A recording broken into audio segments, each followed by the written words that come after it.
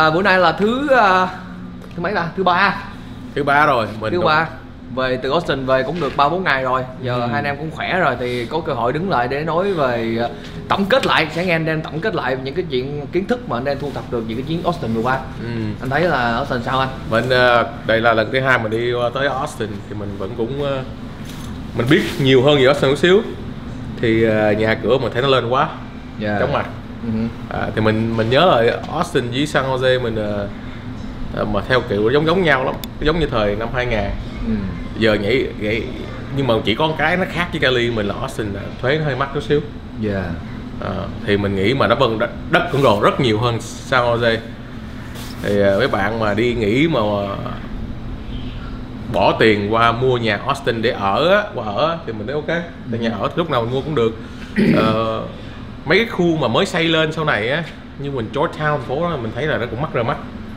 Ờ, năm trăm mấy starting ha. Và gần cuối cùng- sao cũng mắc nữa. ờ là sáu trăm mấy bảy trăm. Mà bên bển thuế là hai trăm mấy không à. Ừ. thì mình phải nghĩ là thuế để theo mình hoài à mình trả hết mình cũng còn vẫn còn. Và nó reset mỗi năm nữa. No reset là mỗi năm. Ừ.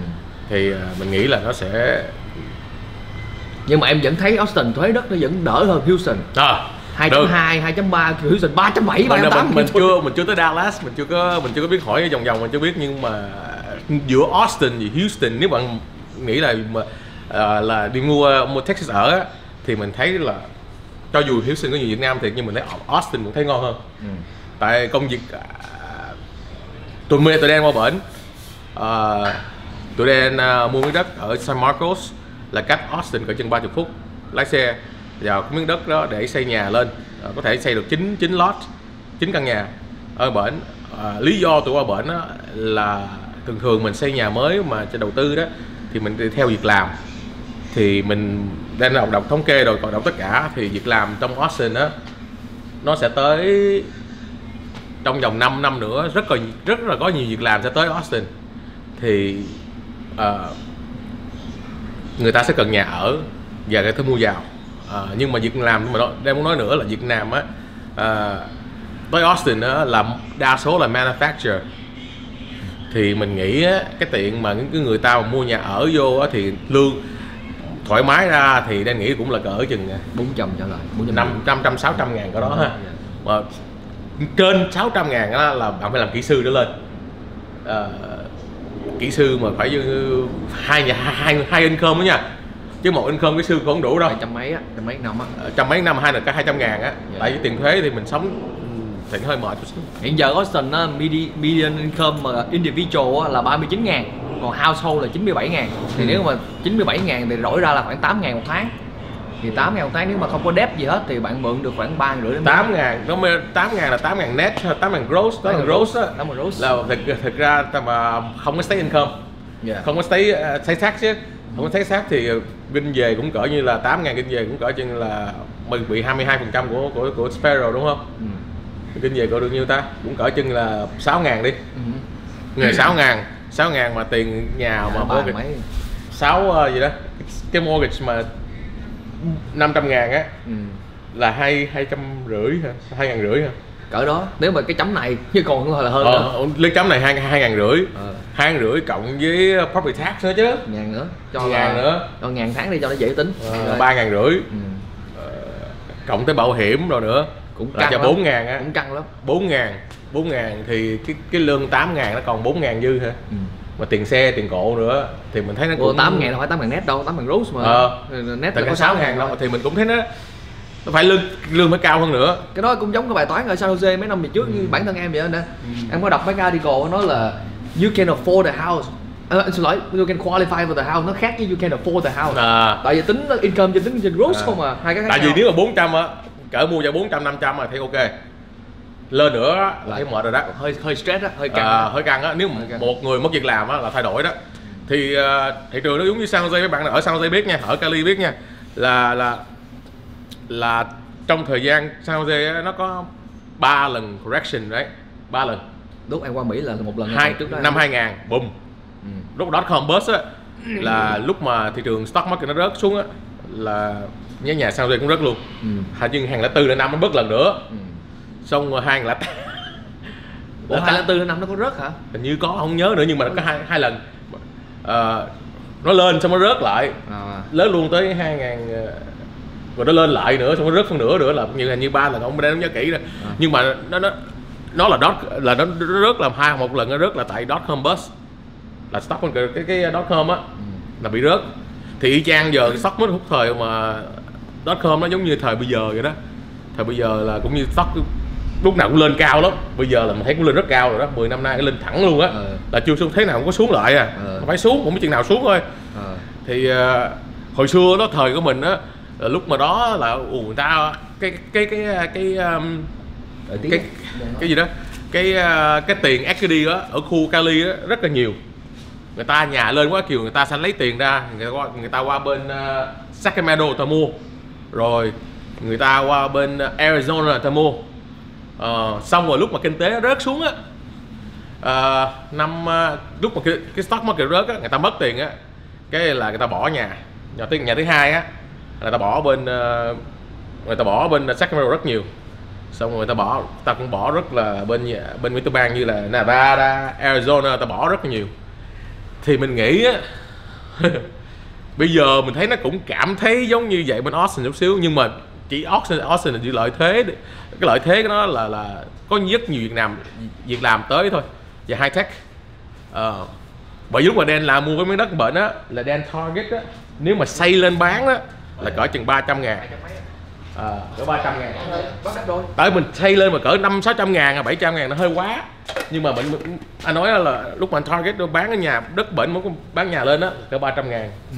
thì mình nghĩ đó cái đó thì ờ, nó Anh hơi đang nói là mấy cái vùng xa xa chút xíu phải không? à tại nó đó. À. thì có thể người ta người người ta có thể afford nổi.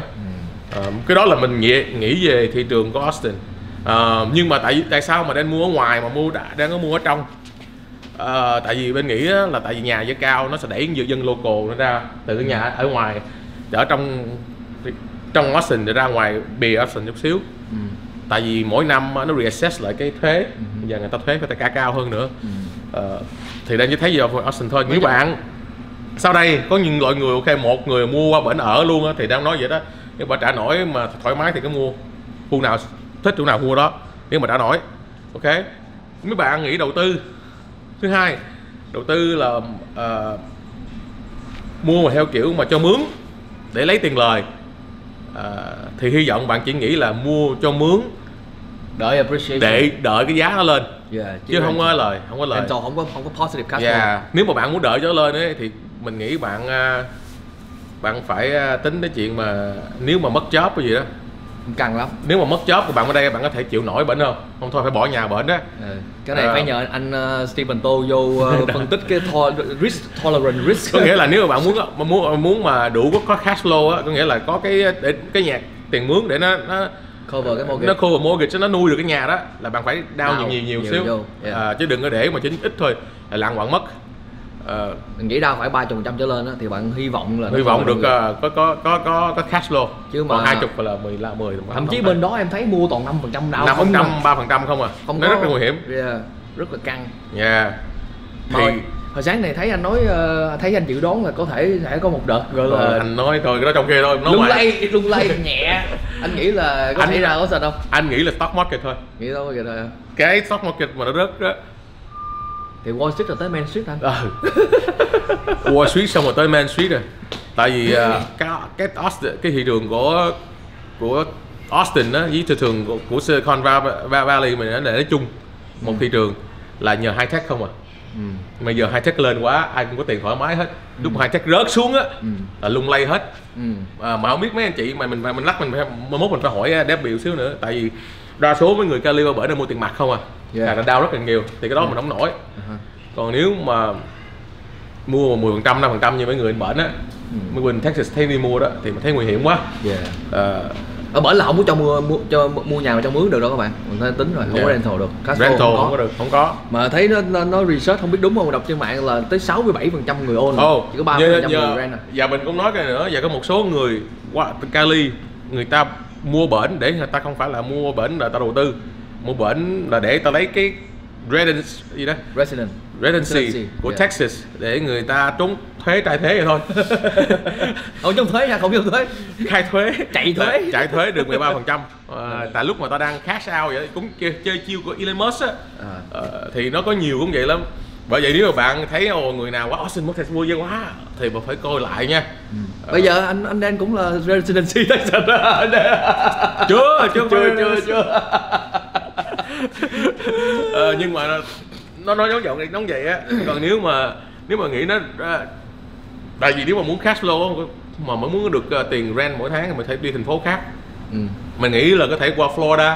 Ừ. cái tiền mà mà tiền cho mướn á nó có nó tốt hơn Ừ. thì bạn mà cho nhà cửa nhà cửa Mỹ group ờ, ở trong Facebook á, thì ờ, có những chuyên gia trọng Ừ, cái người này, đầu cái này mình kia. cũng cũng phải nên nói đi nói lại mỗi cái video là các anh chị nên tham dự vào nhà của Mỹ Group tại vì á, em đi tới những cái chỗ gặp những cái anh chị thậm chí như anh Khôi đi Ừ. trùm địa ốc bất động sản mà anh nói là anh mới mở Facebook hồi tháng 3 thôi tức là có nhiều người nhiều anh chị cảm giác như là mình không cần Facebook nhưng mà không sao anh chị có thể tạo một cái nick business thôi tôi không cần cái personal không ai biết về cái cái cái, cái bản thân của anh chị á để cho cái group đó cái group đó Ừ. nó rất là hay bởi vì có những anh chị chuyên gia họ có thể kinh dùng doanh- bạn tại cái này phải đi theo dùng.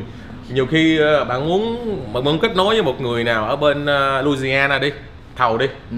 mà bạn cho vô group cái gì mày có thể kết nối về bển Ừ. tìm người tốt rồi bạn bạn làm bên bển Ừ. hoặc là bên Houston, Texas, Dallas gì đó mình Yep. kết nối rất là dễ dàng Yep. chứ bây giờ thời thời, thời đại công công nghệ rồi mình không cần phải gọi là tìm gọi vậy chân á Uh-huh. thì bên trọng sao người ta sẽ mình sẽ thấy được thì có nhiều chuyên gia trọng ta sẽ cảm thấy được người nào hợp với mình Uh-huh. thì mình chọn thôi thì bởi vì vô như có những cái chuyện mà mà, mà mấy bạn email đen á hỏi là ồ Austin good không? Hay là mua không gì trả sao? không trả lời hết nổi. Không thể nào trả hết nổi. trả lời hết nổi nhưng nhiều quá. nếu bạn vô nhà cơ Mỹ group á, bạn làm trong trọng á, thì bạn sẽ hỏi trong trọng thì rất có nhiều người sẽ trả Mình lời. nói cho các bạn nghe ở trong group nhà cơ Mỹ có khoảng 2.000 người 2.000 anh đen ở trong đó đó.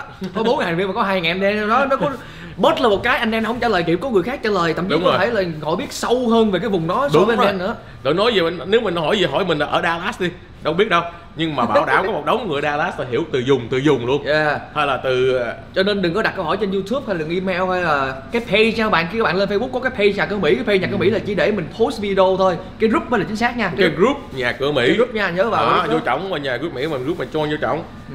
tại giờ mình qua bển như là mình Austin đi. Mình là đi qua Austin là mình cũng như là bạn qua Austin thôi. Lần đầu tiên mình đi rất là mơ hồ luôn á. Ừ. không biết đâu đâu lần thứ hai phải đi lần thứ hai. Rồi lần thứ ba còn từ từ mình mới khái niệm được thị trường đó Ừ. mình đọc đọc là một chuyện thôi ok nếu mà đọc báo á, về Austin á, là bao nhiêu người mua về Austin ba À. vậy đâu yeah. nhưng mình đi xuống đó rồi mình cảm thấy khái niệm cái vùng đó là thực ra sao À ha. Ờ, thì trong trọng á là đầu tư kiểu nào Ờ, rồi làm cái nào mới là ăn chỗ đó Ừ. chứ không phải là mỗi vùng nó có cách đầu tư riêng cũng như là mình nói giỡn như thắng ngoài ở ở ở Cali này á ở vùng San Jose mình là chỉ phải đánh mua nhà đánh ADU thôi. Là có muốn rental mướn chắc kêu cát không có lời thì mình mới tới đó mình mới hiểu cách đầu tư vùng ở bên. Austin cũng có IDU vậy. À, cái đó cái đó lợi hại hơn cả sau đây. IDU chỗ khác. Nhưng ở đó cái đó để mốt mình em quay phim cho mọi người coi. Các bạn muốn biết thêm chi tiết giờ nhập nhà cơ Mỹ mình có live mình làm video live stream về vấn đề ADU của Austin luôn. Nhưng Ừ. muốn biết thêm chi tiết. Giờ nhập nhà cơ Mỹ. Nhưng mà đánh mà theo kiểu mà passive á một đánh vào để đó thì bạn phải có vốn mạnh mà chịu nổi lúc con gần downturn. Lỡ xuống á thì nghĩ Texas Austin mình nghĩ trong vòng 5 năm nó sẽ lên hòa nó lên nhưng mà có thể năm nay lên nhưng mà năm sau có thể có biến biến cố thị trường stock market có thể xuống một xíu. Thì mình nghĩ nếu bạn qua bên Texas mua nhà hay là Austin á bạn phải chịu ở chợ chịu được lúc mà nó xuống á. Ha bạn nghĩ là nếu mà chịu được mất xuống mất job rồi có có giữ được nhà không? Yeah. chứ đừng có nghĩ là mình chỉ ok mua để đó nó lên. Thì bây giờ đó làm được đó. Là cũng như là thị trường stock market vậy đó, mua trong vòng đợi đó xong trong năm năm chục à, chừng 3 tháng sau bán lời hai ba chục ngàn vậy đó. Bởi vì mình sợ là bao nhiêu người làm những vậy lắm nó thành cái như là cái bong bóng. vậy đó. Giống hồi thời năm mà năm đó. Ờ, yeah, nên chỉ có nhiêu đó thôi nhưng bạn cẩn thận nha. Mình không có nói là mà không nên đi không mua gì nhưng mà mình nghĩ trước khi bạn tại mình có nói chuyện với Debbie và những ờ, người realtor ở đó và đa số người Cali đi mua nhiều khi chưa tới. Mua trên mạng thôi. Không thấy. Còn hy vọng nghe đọc báo thấy nó hay quá rồi vô mua thì mình nghĩ nên tới đó một lần nãy giờ anh Dan đã nói là trên phương diện nhà đầu tư còn mình thì mình nói theo kiểu là thí dụ mình là muốn người relocate đi ha mình muốn đi ở thì mình thấy Austin là một thành phố nè. town Yeah. cozy ấm áp à, có rất là trẻ trung Ừ. rất là nhiều bạn trẻ rất là rất cái cái cái, vibe của nó rất là Bay Area nó không biết giải thích sao nó rất giống như San Jose rất là năng đúng động rồi nhưng À. mà nói chuyện ta thuế thì không khe tại vì bên bển nó không có ta, tiền lương thuế với tiền uh, state income Ừ. tax thì nó nó nó trừ ngược lại nó bắt mình phải trả trả property tax. Ừ. thì chỗ nào đóng thuế thôi bù quá sức lại thôi. nhưng mà nếu mà chị đầu tư á cái đó quan trọng à. Ừ. hey, tại mình không có ở bển mình đóng bên đây. state tax rồi mình đóng property tax nữa thì đầu tư bởi vì mình suy nghĩ lại. Ờ. còn nếu mà chuyện mà làm ăn thì một cái nữa là nhà đó nhà Austin build mới rất là modern nha rất là rất là California style giống như nhà của anh Coy vậy đó rất là giống vậy. À, chứ không có không không không cải lương gì cho mấy cái nhà mà lót lót đá đâu nhiều. Cảm ơn cái mấy ê, nó nói vậy có bị bị không bữa anh coi đỡ giùm.